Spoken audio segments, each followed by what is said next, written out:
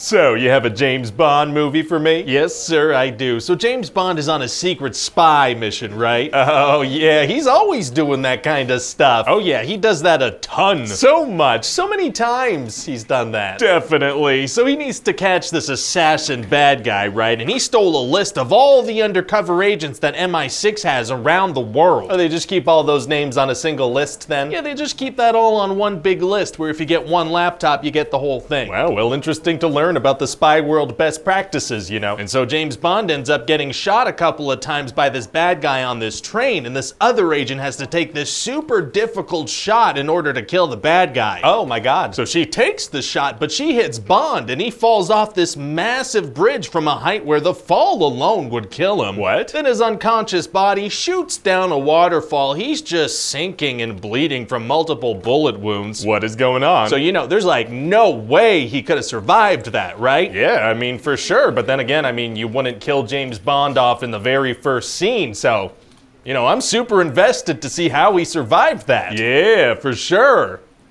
So anyway, later James Bond is kind of just hanging out, chilling, you know, kind of retired. Wait, wait, wait, wait, wait, wait. How how did he get out of the situation where he was unconscious and bleeding and underwater? Ah, well, we're gonna have this amazing opening title sequence, right, with music from Adele. right. So, He figured something out while that was happening, I imagine. but what? How? Listen, sir, there is an Adele music video taking up the screen for several minutes, so we have no, we can't know what's going on behind there, you know? Wow. Well, Okay, all right. So anyway, after about a year of just hanging out, MI6 blows up and Bond hears about it, and also that somebody's mad at M. uh oh, she's from the other movie. So he goes back to London like, hey, what's up? I'm back. Don't worry about how. and so, what does he do to help? Well, he pulls some bullet fragments out of his body from where the bad guy shot him, and he has MI6 analyze them. Okay. And it turns out this is a super special kind of bullet that's only used by like three people around the world. Oh, wow. Well, thank God the professional assassin used bullets that can be specifically traced back to him. Yeah, maybe that's something a professional assassin would do. So Bond gets to this guy and he kills him. Oh, man. So he doesn't have a lead anymore? Well, actually, this guy had a super secret assassin poker chip on him, so that leads Bond to a casino. Jeez, that guy loved leaving breadcrumbs. Sure seems that way. So Bond goes to this casino along with that other agent, and during the mission, he kind of plops his earpiece into her drink. Well, why would he do that in the middle of a mission? Cut off communication. Because how cool is that? it's pretty cool. Anyway, so then Bond meets this woman who's like a prisoner, kind of, and she leads him to the bad guy of the movie, this guy named Silva. And how does that go? well, see, Silva forces Bond at gunpoint to shoot a glass off of this lady's head. Oh. But he misses, so Silva shoots her right in the face. Oh my god, well, there was nothing Bond could have done, you know? He had a gun pointed at him. That's right, exactly. So then Bond fights his way out of the situation, and a bunch of helicopters show up. he couldn't have done that like a couple seconds earlier so that woman wasn't shot in the face? Nope. Oh, okay. So they put Silva in a glass cage, which is what you do when you catch a villain halfway through the movie. That does seem to be standard procedure. yeah, and just like any villain captured halfway through the movie, he wanted to be captured. It was part of his plan. Oh, he did? So what's his plan? Well, see, Q plugs Silva's computer into the MI6 computer mainframe, which hacks it and sets Silva free. The tech expert just connects a bad guy's computer into the secret spy computer network? He does, yeah. So that opens Silva's cage up, and he takes out two guards and escapes through the tunnels. Okay. So Bond starts chasing Silva, but this guy has this whole thing planned out to a T. He has some of his men hand him a cop disguise in the subway. How? And after this super long chase, Bond catches up to Silva and starts shooting at him. But Silva's like, whoa, whoa, whoa, whoa. But why would he stop? Oh, I just told you. Silva said, whoa, whoa, whoa, whoa. I guess that's convincing. So then it turns out Silva had planned this whole thing too, and a big train crashes right through the tunnel right at that moment. What? And then M is at this hearing thing, which was also part of Silva's plan. So he bursts in with a gun, and he well, he misses. He doesn't he doesn't manage to hit her. Uh,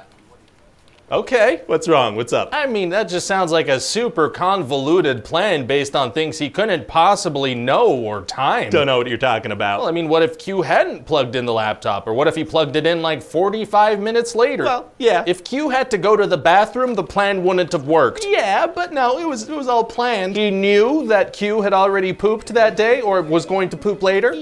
Yeah. And if at the end the plan was to just burst into M's hearing, why not just do that part? Like, why do all the other stuff? Why get captured? Ah, well, see, he wanted to know where M's hearing was. That's like, that's public information, though, I think. Listen, sir, the thing is, it's gonna be a very cool sequence, so I'm gonna need you to get all the way off my back about it. Oh, I didn't realize it was gonna be cool. Okay, let me get off of that thing. Okay, thanks. So now Bond has to bring M to safety, and he has to assume that all the MI6 channels are compromised. So what does he do? He brings her to his childhood home in Scotland and has Q lure Silva there. So do Bond and M go with a bunch of people kind of off grid with a bunch of guns too? Nah, it's just the two of them, and Bond says there are some old hunting rifles there they can use. So his plan to protect M is to bring just the two of them to an old, old house in Scotland and use a couple of hunting rifles and lure a supervillain over to them. That's what we're going with. Also turns out all the rifles were sold except for one. Wow, so what do they do? Well, sir, have you seen Home Alone? Yeah, so